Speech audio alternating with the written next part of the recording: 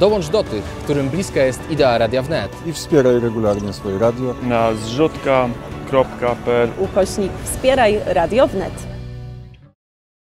I po raz pierwszy ten konflikt na Ukrainie, wojnę na Ukrainie skomentuje dla nas pan generał Andrzej Kowalski, e, były szef służby kontrwywiadu wojskowego, a także szef służby wywiadu wojskowego. Dzień dobry panie generale. Dzień dobry, publicznie muszę sprostować. E, Pełniłem obowiązki szefa kontrwywiadu wojskowego Wiedziałam. przez krótki czas. Wiedziałam, miałam napisane PO, ale postanowiłam, że sobie po prostu to skrócę, ale nie. E, W Muszę wojsku, w wojsku dziękuję bardzo e, za zaproszenie. Witam panią, witam państwa. Ze mną oczywiście też Łukasz Jankowski w studio. No i zaczynamy, panie generale, od tego, jak pan ocenia konflikt, wojnę na Ukrainie w kontekście właśnie e, walki służb e, wojskowych e, ukraińskich i rosyjskich. No, łatwo byłoby powiedzieć e, prostym zdaniem. Nie jest to takie znowu z kolei proste, bo oczywiście proste zdanie by bardzo wypatrzyło cały, e, cały obraz bardzo skomplikowanej sytuacji.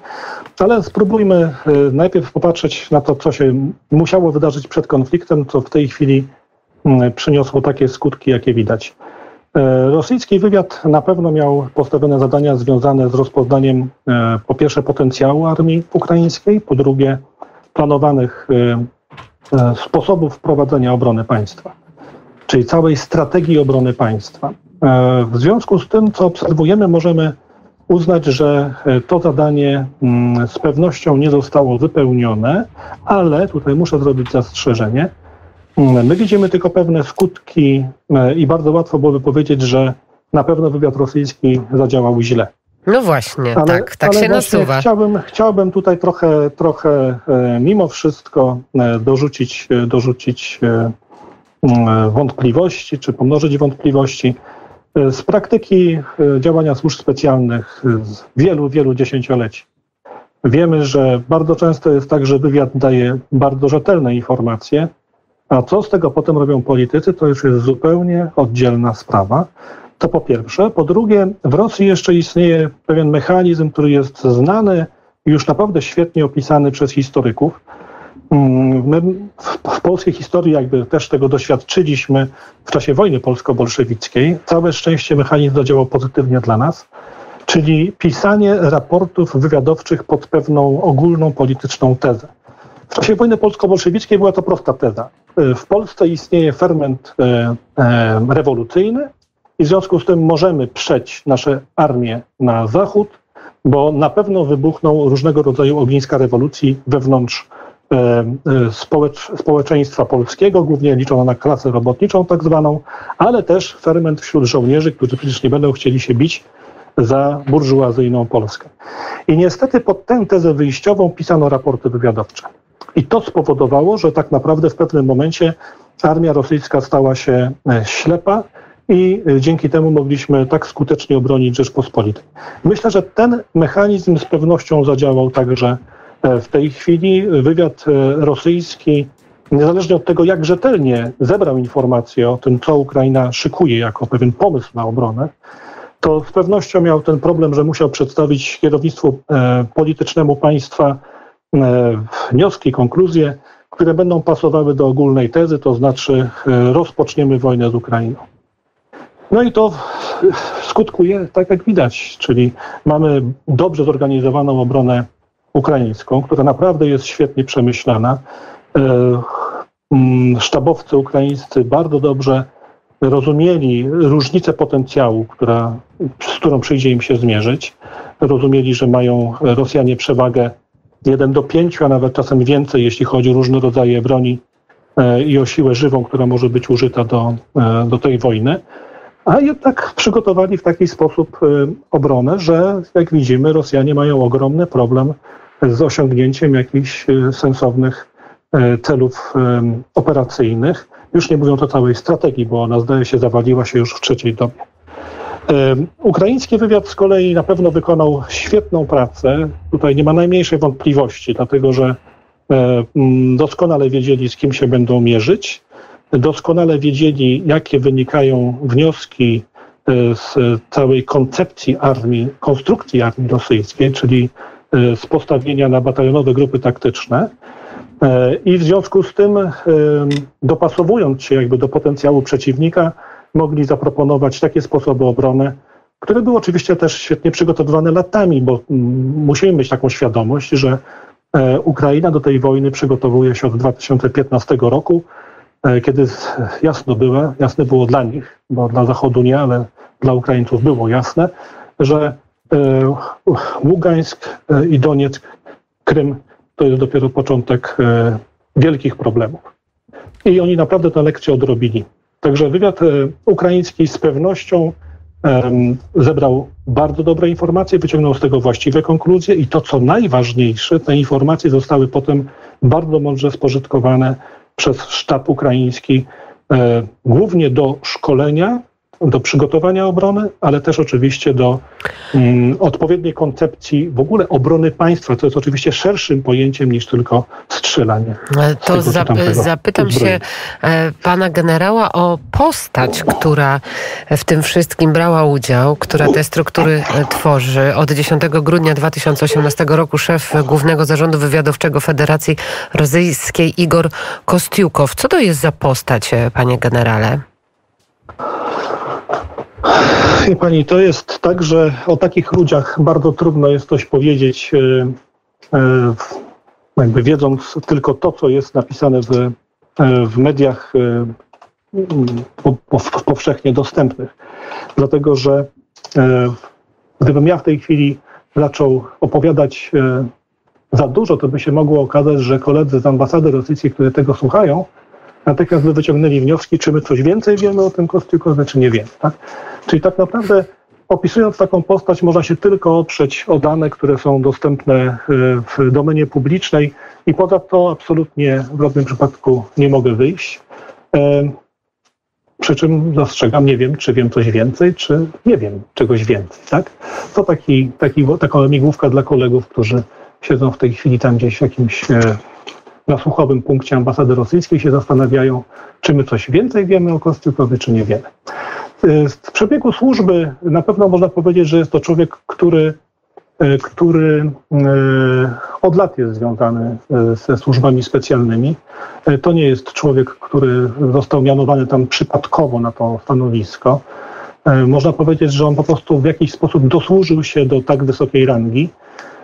Wiadomo, że sam moment decydowania o tym, kto będzie szefem służby, jest zawsze momentem, gdzie muszą być rozpatrzone różne względy polityczne, także, E, więc mm, dokładnie nie wiemy, co przeważyło o tym, że on został szefem, ale z pewnością jest to e, ktoś, kto bardzo dobrze rozumie pracę wywiadowczą. E, Jeśli chodzi o jego cechy charakteru, wolałbym o tym specjalnie się nie, roz, nie rozwodzić. E, Możemy uznać, e, w związku z tym, co w pierwszej części powiedziałem, że z pewnością nie był w stanie e, w żaden sposób przeforsować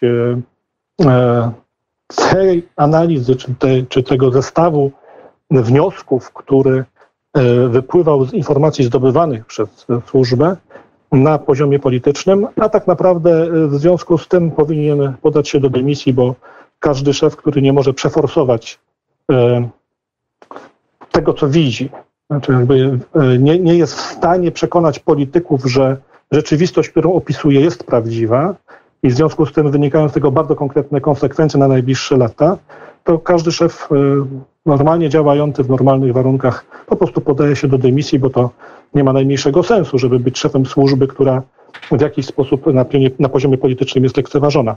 E, To się nie stało, w związku z tym możemy wnioskować, że, że obecny szef GRU no albo właśnie charakterologicznie nie spełnił, e, nie dorósł do bycia e, tej rangi oficerem, albo po prostu jest tak uwikłany w różne zależności personalne, że musiał I tak Mm, dobrze zna się z. Władimirem Putinem. Łukasz Jankowski ma pytanie do pana generała, O, generała i to, również. i to nie jedno. jedno, ale wychodząc, panie generale, z, z takiej gry służb specjalnych y, przygotowawczej, jak to wygląda teraz y, zdaniem pana generała y, na froncie? Bo ta operacja była początkowo taką operacją hybrydową. Jechały kolumny pancerne, kolumny zmechanizowane, ale też działały grupy dywersyjne, działał desant.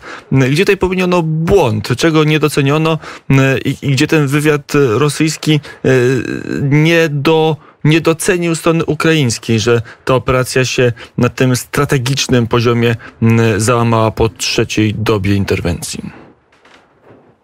E, Tutaj e, ja mam duże wątpliwości, czy możemy obciążyć jednoznacznie wywiad rosyjski winą za to, co w tej chwili obserwujemy na froncie.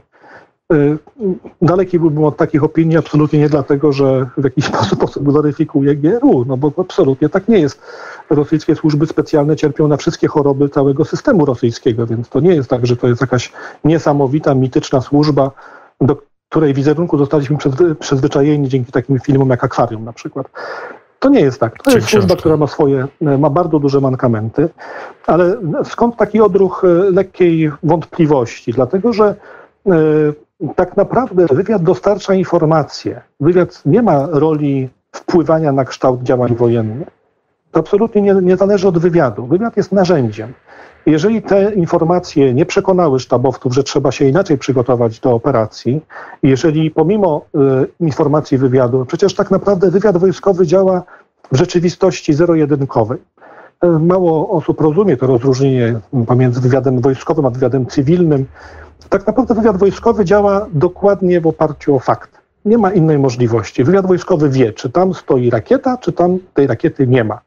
Jeżeli się wywiad wojskowy pomyli, no to wszyscy wiedzą, że się pomylił, bo albo rakieta jest, albo jej nie ma, prawda? E, Wywiad wojskowy nie działa używając słów prawdopodobnie, być może, a w przyszłości coś tam, a, a musimy rozpatrzeć. Nie, wywiad wojskowy po prostu liczy i z tych policzalnych faktów, które pozbierał, wyprowadza konkretne wnioski. Mamy potencjał na uderzenie na czterech kierunkach, albo nie mamy tego potencjału. Ukraińcy są w stanie się bronić, albo nie są się w stanie bronić.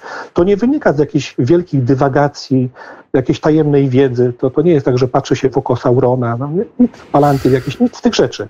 To jest naprawdę super policzalna wiedza. I myślę, to że... No to Ktoś- właśnie to ktoś to- liczyli, liczyli. Ktoś tą matematykę, jak rozumiem, musiał zawalić. Przynajmniej tak to wygląda. Ja myślę, że mm, matematyka po prostu została odsunięta na bok, dlatego że przyjęto założenie, że niezależnie od informacji wywiadu jesteśmy w stanie przeprowadzić operację, która będzie operacją mm, bardzo szybką, czyli trochę tak, przypomnijmy sobie Afganistan, e, początek całej operacji w Afganistanie, czyli wjazd e, grupy e, wojsk specjalnych e, do Kabulu, e, atak na pałac e, Amina i właściwie przejęcie państwa, tak? przejęcie władzy politycznej. E, Bardzo podobny scenariusz, jak się w tej chwili przypominają takie fragmenty różnych filmów dokumentalnych o Afganistanie, to właściwie nawet narracja jest podobna.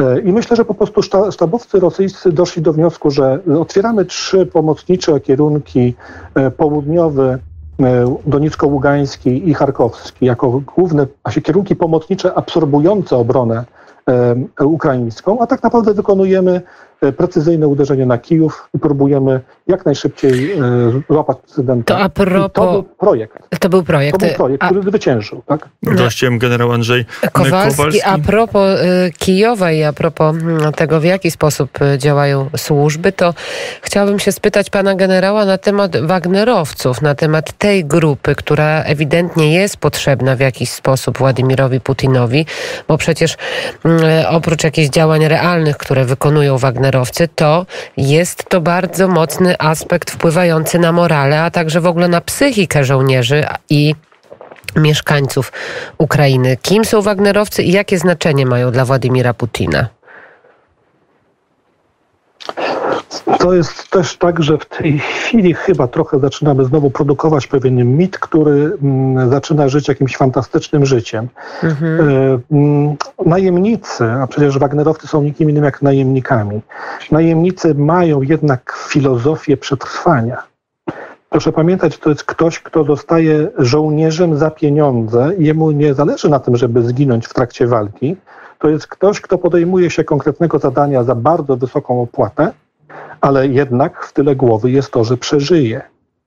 W związku z tym to nie jest tak, że mamy do czynienia z jakimiś niesamowitymi mm, jednostkami samobójców, specjalistów, którzy są w stanie wykonać każde uderzenie w dowolnym punkcie za wszelkie możliwe, e, ponosząc wszelkie możliwe straty za ogromne pieniądze. No bo po co im te pieniądze, prawda? Przecież nie, nie, nie oszukujmy się, to nie są ludzie, którzy, em, którzy żyją wielkimi ideałami i dla idei będą umierać. To są ludzie, którzy po prostu walczą za pieniądze. W związku z tym ja bym nie przeceniał y, Wagnerowców jako siły bojowej. To są mordercy wynajęci przez Putina, wyhodowani przez Prigozina, y, którzy w tej chwili nawet już chyba używają zbiorczej nazwy, już to nie jest grupa Wagnera, tylko to się chyba Liga nazywa w tej chwili, tak przynajmniej niektórzy analitycy twierdzą. Y, I oni po prostu wykonują zadania za wysoką stawkę. Takim zadaniem jest złapanie prezydenta Żeleńskiego. Myślę, że to jest, nie jest jedna osoba na liście, tak? że to jest, ta, ta lista jest dużo dłuższa i po prostu mają płacone za to, że wykonają te zadanie. I y, jak to zrobią, to jest absolutnie nieistotne. O wiele bardziej bym się obawiał y, wszystkich innych oddziałów specjalnych, które mają dużą siłę uderzeniową, y, które są świetnie wyszkolone. Tego trochę jest. Y, trochę nam się nie przebiła ta informacja do, do obiegu publicznego, że już e, pod koniec 2009 roku, z tego co pamiętam, były tworzone e, siły operacji specjalnych e, w Rosji. Rosjanie obserwując, jak działa cały konglomerat operacji specjalnych amerykańskich i w ogóle zachodnich, doszli do wniosku, że muszą w jakiś sposób to podrobić. Mam nadzieję, że wyszło im tak samo jak z podrabianiem każdego dobrego amerykańskiego produktu. I stworzyli coś, co ma w tej chwili jedno dowództwo dla wszystkich jednostek specjalnych najprzeróżniejszego pochodzenia. To wszystko jest oczywiście bardzo blisko GRU, dlatego że e, GRU jest jednak takim najbardziej istotnym elementem we wszystkich rozgrywkach militarnych. Nawet w tej chwili to, co się dzieje, tam też jest bardzo obecne GRU, ale najistotniejsze jest to, że mamy ten sztab operacji specjalnych. Tak, mamy takie specjalne dowództwo, które dowodzi wszystkimi siłami specjalnymi, które są rzucone w tej chwili do walki. I to jest moim zdaniem najsilniejszy oręż, który może być użyty na przykład w ataku na Kijów. E, wszystkie te jednostki, o których często teraz słyszymy, tam zbierające się batalionowe grupy taktyczne, czy jakieś tam brygady przesuwane na, na mapach, e, bo to można znaleźć w internecie, polecam taką zabawę, dosyć to jest ciekawe. E, to wszystko jest e, mm, takim wojennym walcem, który ma się zbliżać do Kijowa i ma doprowadzić w pewnym momencie do starcia wojsk. Ale e, to, co na pewno zakłada w tej chwili sztab rosyjski, to po pierwsze wiedzą, że nie mają takich sił, żeby otoczyć to miasto i je faktycznie uderzyć w tak, jak się to normalnie dzieje w przypadku zdobywania tak wielkich aglomeracji. W związku z tym mają narzędzie specjalne i to są właśnie te wszystkie siły operacji specjalnych, które będą użyte do jakiegoś bardzo precyzyjnego uderzenia, które też jest przygotowywane w tej chwili już tam na miejscu poprzez grupy dywersyjne. Powiedział Pan na początku mm, swojej odpowiedzi o Jewgeniju Prigorzynie, tak zwanym kucharzu Putina. Rozumiem, że on ma bardzo mocne wpływy na te specjalne jednostki czy na te legiony. On jest osobą, która odpowiada za taką dywersję, za takie ataki terrorystyczne, zasianie paniki. On jest tą osobą, która odpowiada za tego typu rozwiązania? E, zdecydowanie nie, nie wiązałbym e, w tej chwili Jewgenia Prigozina z jakimiś bezpośrednimi działaniami wojennymi. To myślę, że to absolutnie nie jest e, tego formatu osoba, to jest człowiek od brudnej roboty. Jednym z, jednym z wymiarów tej roboty było stworzenie tych prywatnych firm wojskowych, no to najsłynniejszą znam jako grupę Wagnera. I tylko tyle. Więcej bym chyba tutaj nie, nie, nie doszukiwał się jakichś specjalnych y, mm, zaangażowań y, Prigorzyna w obecną, w obecną y, fazę y, wojny. Mm, to jeszcze, panie generale, mm, co to znaczy o siłach zbrojnych Federacji Rosyjskiej, skoro mm, na gwałt musi, trochę tak to wygląda, musi ściągać po pierwsze grupę Wagnera, czy, czy, czy, czy, czy Ligę Wagnera, do tego jeszcze Czeczeńców, kadyrowców, którzy przecież od początku nie uczestniczyli w tej operacji w tak dużej liczbie, a mówisz też o najemnikach z Syrii, też zaprawionych w niezwykle brutalnych i krwawych i bestialnych bestialskich walkach e, miejskich. To jest tak, że nagle podobno druga armia świata nie jest w stanie poradzić, aby opanować jedno duże, no ale jednak jedno miasto e, własnymi siłami musi e, zbierać najemników jak ja wiem, siły zbrojne w, w, w wojnie 30-letniej albo w innych konfliktach parę wieków temu? Tutaj mamy chyba y, też do czynienia z y, z takim trochę trudnym do wytłumaczenia przekładańcem. No spróbujmy. Po pierwsze, zobaczmy, że potencjał armii rosyjskiej w tej chwili jest taki, że e, stoją przed Mariupolem od kilku dni i go szturmują. Mariupol ma niecałe 500 tysięcy mieszkańców. Nie jest dużą aglomeracją. Kijów to jest ogromne miasto, 3,5 miliona ludzi. Więc jakby niech to nam od razu pokazuje, z czym mamy do czynienia, jaki faktycznie jest potencjał, potencjał y, rosyjskiej armii. No niestety y, to, o czym Pan mówi, y, przywołuje bardzo złe skojarzenia. Pamiętamy, kto na przykład był najbardziej mm, aktywnie wykorzystaną jednostką w czasie powstania warszawskiego do walki z powstańcami. Prawda? Czy były to jednostki, które były Wehrmachtem? Prawda? Mhm. E, nie, to byli w pewnym sensie no, nie najemnicy, ale z pewnością e, ci wszyscy, których prowadził Oskar Dillewanger, byli no, bestialskimi oprawcami. I to oni właściwie byli odpowiedzialni za te najbardziej okrutne mordy, które E, miały e, e, psychologicznie zdewastować obronę, obronę Warszawy. I tutaj niestety bym się dopatrywał czegoś takiego, czegoś podobnego, że sięgnięcie po taki zestaw no, naprawdę bardzo okrutnych bojowników, no, naprawdę można powiedzieć morderców zawodowych i skierowanie ich do Kijowa E, oznacza, że najprawdopodobniej jest gdzieś na, na stole w sztabach rosyjskich, może tego nie zrobią, ale to na, na stole na pewno leży. Jest przygotowane coś takiego jak e, jakieś bardzo okrutne uderzenie e, w któreś miejsce w Kijowie, gdzie po bardzo silnym wsparciu artyleryjskim i lotniczym dojdzie do takiego wyduszania obrońców w sposób absolutnie bezwzględny, zmordowaniem ludności cywilnej, no tak, żeby po prostu psychozą uderzyć w miasto. A z drugiej Tego strony bardzo obawiał. Y, kadyrowcy już się spotkali z wojskami ukraińskimi, podobnie jak, y, jak te najlepsze jednostki specnazu czy jednostek powierzchni desantowych, y, no i nie odnieśli sukcesu. Tak, wiesz, I, na po, I na pochybel im powiedziałbym. Ale to, to, że te jednostki nie są być może najlepszej jakości, że nie są w stanie e, sprostać zmotywowanym... To jest mit w ogóle, który wokół nich powstał. Nie, proszę, proszę tak nie myśleć. E, to jest tak, że nawet najlepiej wyszkolona jednostka, e, jeżeli jest źle użyta, to niestety po prostu ma kłopot. To nie jest tak, że mamy do czynienia z jakimiś supermenami, którzy są w stanie odbić kamizelką kuloodporną granat z moździerza 80 mm. Nie da się tego zrobić, tak po prostu. Jeżeli Ukraińcy bardzo mądrze przechwycili pewne informacje, spodziewam się, że tutaj znowu kolejny dowód na świetną pracę rozpoznania być może wywiadu ukraińskiego, e, wiedzieli, w którym miejscu będzie e, tego typu próba uderzenia, mieli jakieś namiary, które wskazywały, gdzie przeciwnik się przemieszcza, naprawdę byli w stanie przygotować taką, taką, takie powitanie, że żadne wyszkolenie, żadne uzbrojenie, żadne pancerze w niczym nie pomogą. E, to tak po prostu jest. Taka, takie są prawidła wojny. Jeżeli obrona jest dobrze przygotowana, to nawet jeżeli wyślemy, co tu dużo mówić, każdy Polak przed oczami ma szarże pod Korsuniem, prawda? Polska husaria, która grzeźnie w błocie i zostaje wybita przez półnagich półnagich e, kozaków czy zaporożców, nie wiem jak ich określić. Tak?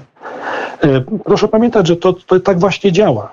Nawet super specjalistyczne czy specjalnie przygotowane wojsko, w momencie, kiedy trafia na mądrze przygotowaną obronę i jeszcze do tego jest to zasadzka, to naprawdę szanse są bardzo, bardzo marne. Panie Zwłaszcza, że Ostatnie co tu dużo mówić, kadrowcy na pewno nie mogli liczyć na, na nic innego poza poza śmiercią. E, general, to ostatnie pytanie o tym świetnym wywiadzie. A może jest tak, bo takie są głosy, że, że to rosyjski e, wywiad przekazuje te informacje Ukraińcom, że tam jest jakiś opór, jakiś Jakaś wewnętrzny. Dywersja. Tak, klincz, dywersja, że to jakieś nieformalne grona, które e, są przeciwko tej wojnie i, i pomagają Ukraińcom. To jest w ogóle możliwe?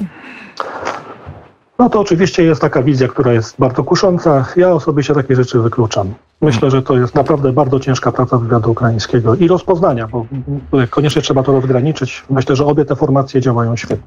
Myślę, że te informacje nie uspokajają e, mieszkańców ani e, dyplomatów, którzy e, znajdują się niedaleko na Zwalejach Ujazdowskich. Mówił o tym pan generał Andrzej Kowalski. Wspieraj regularnie swoje radio na zrzutka.pl ukośnik Wspieraj Radio Wnet. Już od 12 lat robimy radio, a tworzycie je przede wszystkim Wy, słuchacze i przyjaciele Radia Wnet. Bardzo dziękujemy za Państwa dotychczasowe wsparcie. To tylko dzięki niemu udało nam się stworzyć tak silną społeczność i tylko dzięki niemu wciąż możemy się rozwijać. Wasza regularna pomoc na zrzutka.pl pomoże nam pokryć stałe koszty związane z utrzymaniem nowo powstałych nadajników, a także studiów w Polsce i za granicą. Pomoże nam także polepszyć nasze programy. Obecnie Radio Wnet nadaje w 8 miastach wojewódzkich, ale do tego ma 11 studiów zagranicznych, a ramówkę radia wypełnia około 50 programów autorskich. I będziemy dalej rozwijać Radio Wnet, bo chęci i ambicji już nie można zatrzymać.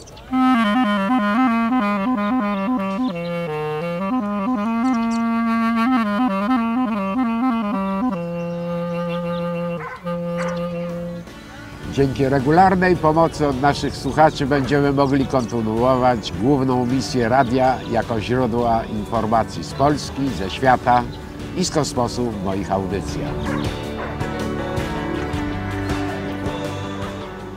Państwa wsparcie wzmocni w nas radość i chęć tworzenia radia i do tego przyjemność do opowiadania Państwu o tym, co dzieje się w Polsce i na świecie. Dołącz do tych, którym bliska jest idea Radia Wnet. I wspieraj regularnie swoje radio. Na zrzutka.pl Ukośnik Wspieraj Radio Wnet.